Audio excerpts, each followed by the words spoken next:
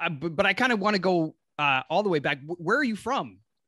Okay, so I was born in Houston, Texas, and then raised in Denver, Colorado. So like I went to middle school, high school, and stuff like that in, in Denver.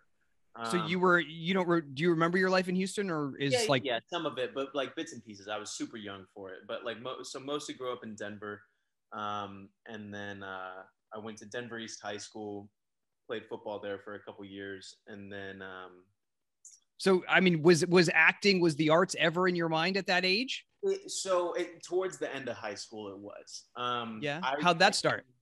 Well, so I came from like a big football family, so everyone in my family played, and so you know they made sure that I was gonna play too, kind of thing. I was gonna say, but you're not okay. You, you have a fine physique, but you're not that big. No, no, no. He's no, pretty no. tall. He's pretty I'm tall really though.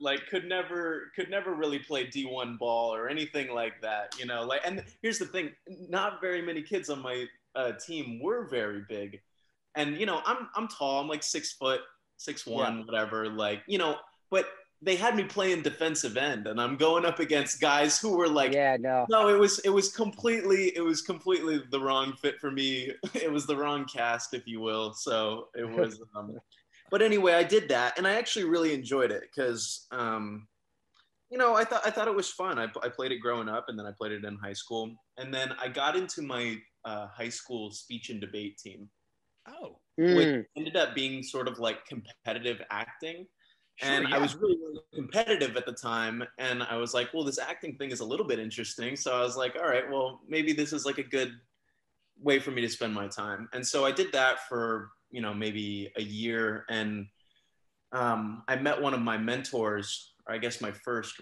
real mentor, um, Matt Murphy, who's the head of that speech and debate team.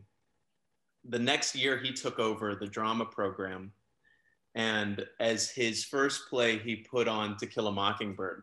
Mm. And the guy who he had cast as Atticus Finch got really, really sick like two weeks before the show was supposed to start.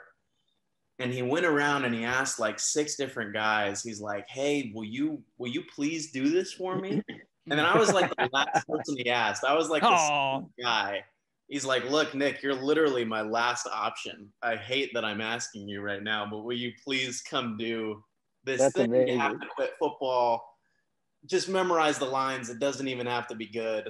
so that's that's a dude. That's a heavy lift. yeah. Well, it's a heavy lift. Yeah, playing Atticus Finch in 14 days, and so Well, and and, and for your first, that was like your first acting role. Like speech and debate is Yeah, one thing, and you have to have a point of view, and you want to convince people of things. So it is very active, right? It is. but- yeah. And actually, that's not bad bad prep for playing Atticus. If you're in a courtroom and doing speeches, like, except it doesn't really prepare you for like when you're talking to your daughter and having those kind of things. Sure, sure. Right. But for the courtroom stuff, that's actually not bad. That's not a bad place to start from. Please subscribe to our YouTube channel.